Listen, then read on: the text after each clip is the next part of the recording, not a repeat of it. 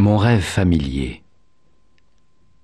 Je fais souvent ce rêve étrange et pénétrant d'une femme inconnue, et que j'aime, et qui m'aime, et qui n'est chaque fois ni tout à fait la même, ni tout à fait une autre, et m'aime et me comprend.